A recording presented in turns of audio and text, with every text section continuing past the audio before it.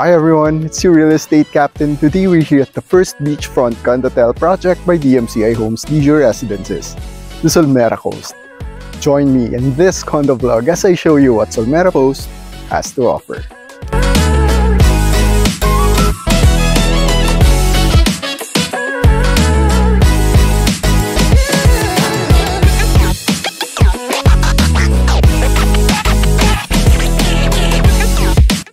Hi everyone! Welcome back to our condo vlog for Solmera Coast.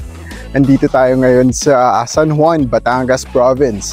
Ito yung location ng uh, newest project ni DMCI Homes Leisure Residences. So, uh, situated siya dito sa barangay uh, Kalubkubdos and uh, Subukin. So, uh, total area ni uh, Solmera Coast is almost uh, 7.5 hectares for the first phase. So, i-check natin ngayon is yung first phase ng project. Then later on, papakita din natin yung mga model units, yung future development, total area na rin ni uh, Solmera Coast. And uh, syempre, slightly, discuss na rin natin yung mga prices and yung mga units available. Tara, check natin.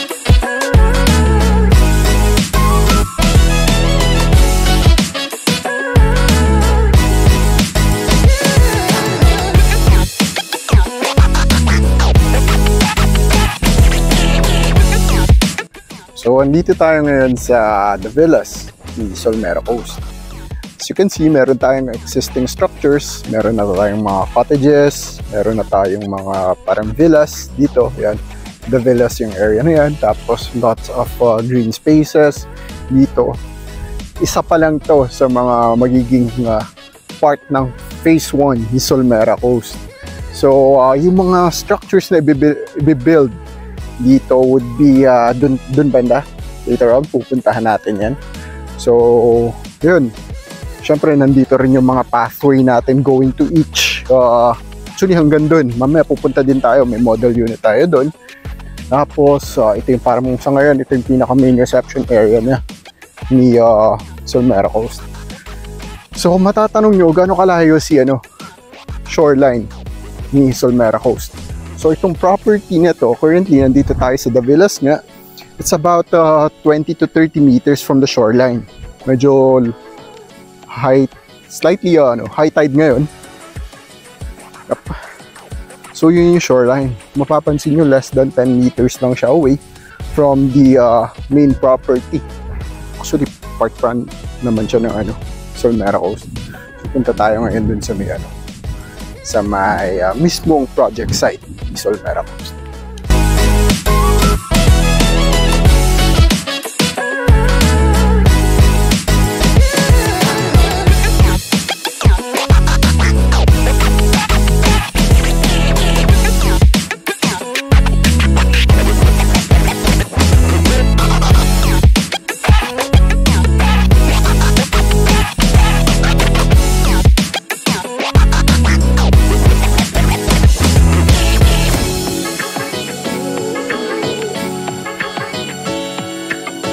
Ito na nga, andito na tayo sa first phase ng uh, phase 1, correction, phase 1 ni uh, Solmera Coast. So this is the amenity area. As you can see, meron tayo dito infinity pool. Tapos doon, meron na tayong existing pool doon. Dudugtungan yun ng mga magiging amenities ni phase 1 of Solmera Coast. So ilang buildings nga ba Solmera Coast? For the first launch, meron tayong initially dalawa na na-launch na building. So dito, as you can see, dito mo itatayo si Matahari Building which is less than 100 meters away from the shoreline. Dito, shoreline natin, dagat. So, uh, another building is Kartika. Dito, dito sa banda itatayo. About 150 to 200 meters away from the shoreline. And finally, nakita ni DMCI Homes kung gaano ka-in-demand yung first two buildings na nilaunch natin. So we have the third building, Bumi Building. So, yung tatlong buildings ni uh, Solmera Coast, it's around six, six residential floors. Then, um, main building natin, the first uh, na ready for occupancy would be Matahari Building. Then, yung second building, Kartika Building. Dito siya, like I've discussed kanina. Then, uh, third building would be Bumi Building. So, uh, turnover dates would be around 2027 for uh, Matahari, February 2027 yung turnover date niya. Then for Kartika, ang turnover date niya, niya is May 2027 and August 2027 for Bumi Building. Then, um, sa ngayon nakikita natin coconuts pero by the time 2027, uh, makikita na natin ganito na siya. Yan, kung nakikita niyo yung mga uh, tarpaulins natin regarding the project. So, yan siya. Yan. And, uh, lagyan, lagyan natin ng pop-up para makita rin nyo.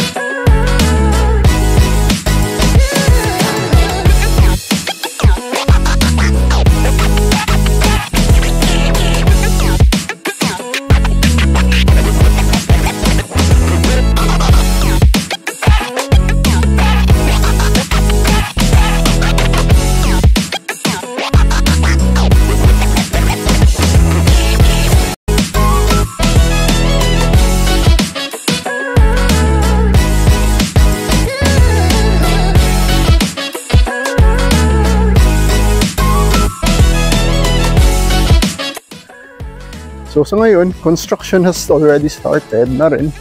Ngayon, kikita nyo may mga detalye dyan.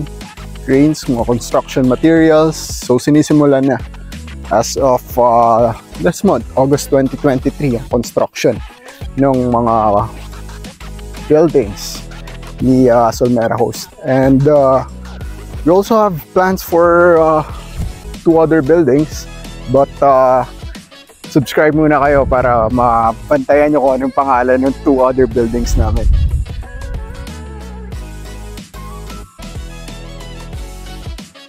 Then, syempre, since Solmera Coast is a, uh, parang sa uh, mga hindi rin pala familiar.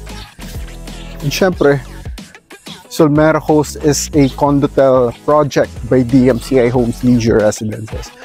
Uh, by condotel, sa mga hindi nakakaalam. Upo muna ako. I'll let my assistant explain. So, Other Jude, pasok.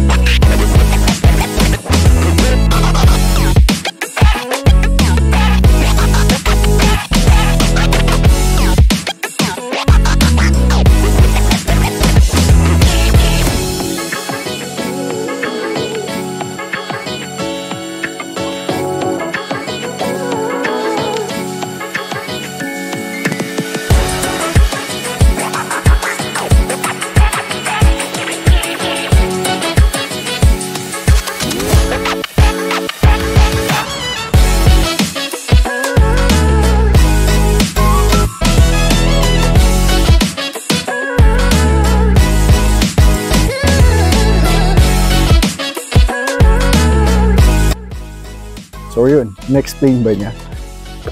Anyway, so yun nga, as, a, as na-discuss niya, Solmera Coast is a uh, condotel project for the first 10 years.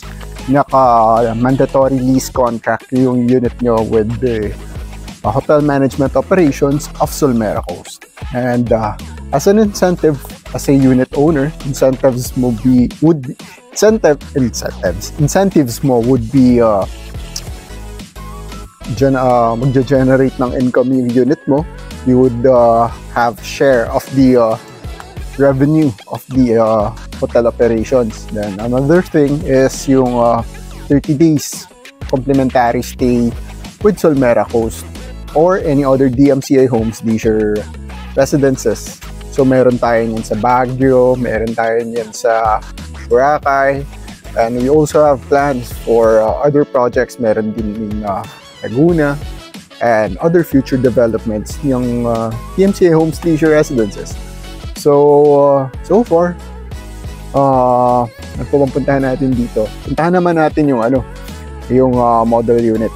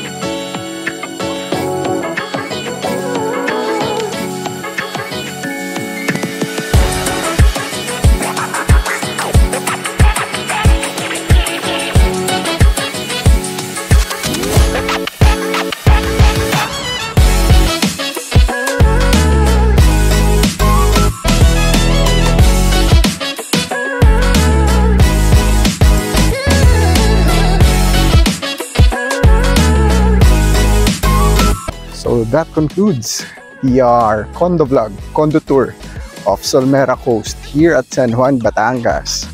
So as you can see, ang gandang project niya. Gandang investment for potential investors dyan. So uh, if you have any other questions, send them here at our uh, comment section below or uh, at our uh, social me media pages. Or you could message me at the number here. So, um, it's your real estate captain. See you on our next condo tour.